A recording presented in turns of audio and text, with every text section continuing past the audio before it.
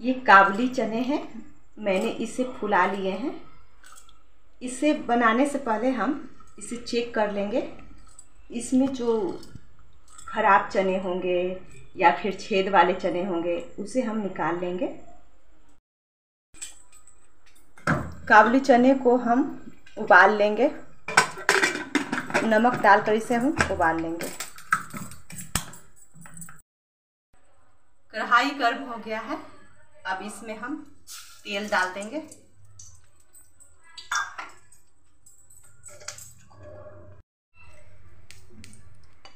थोड़ी सी जीरा डाल देंगे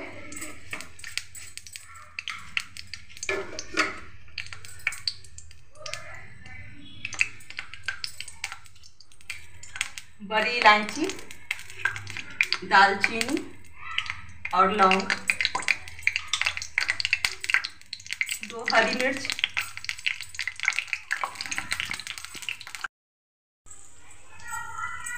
इसके बाद प्याज डालेंगे।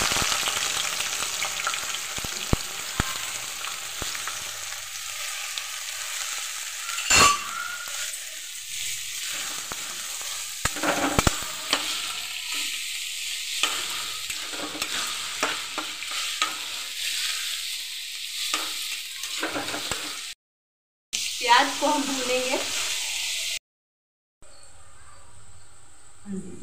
हो गया। प्याज मेरे ब्राउन हो चुके हैं। अब इसमें अदरक लहसुन का पेस्ट डालेंगे।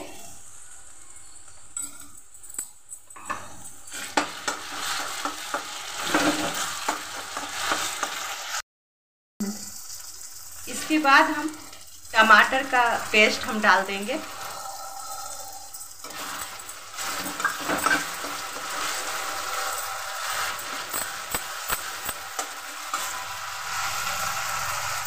थोड़ा सा भून लेंगे। इसके बाद हल्दी पाउडर। हल्दी पाउडर के बाद मिर्ची पाउडर डाल देंगे। धनिया पाउडर।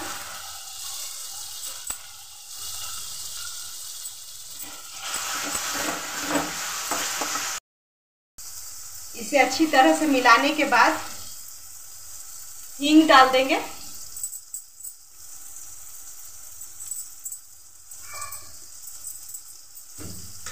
नमक हम स्वाद के अनुसार डालेंगे, क्योंकि छोले में भी मैंने पहले नमक डाल चुके थे। इसलिए अंदाज से डालेंगे।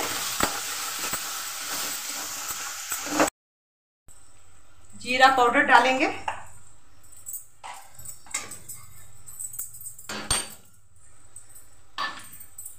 गोल मिर्च डालेंगे।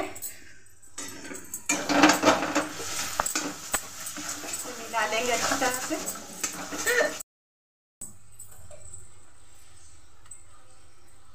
छोले मसाले डाल देंगे।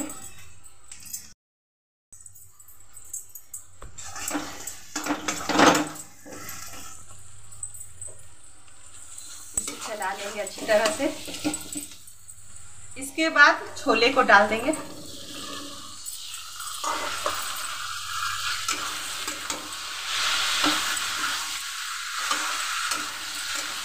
छोले को अच्छी तरह से भून लेंगे।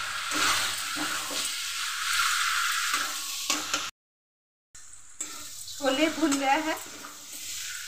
अब इसमें हम दो चम्मच घी डाल देंगे।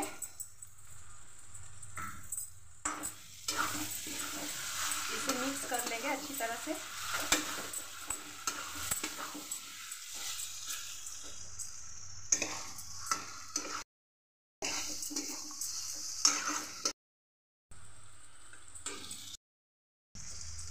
छोले भून गए हैं अच्छी तरह से। अब इसमें हम पानी डाल देंगे।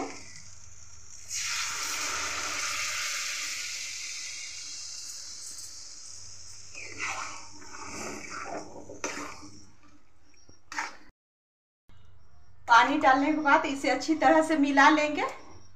अब इसे हम दो मिनट के लिए ढक देंगे।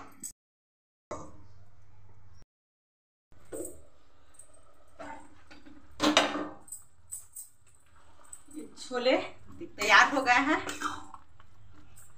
अब इसमें एक चम्मच अमचूर पाउडर डाल देंगे। फिर मिला लेंगे अच्छी तरह से।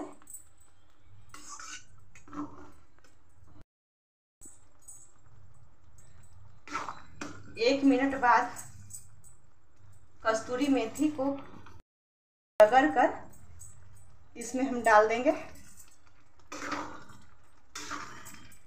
मिला देंगे और गैस बंद कर देंगे।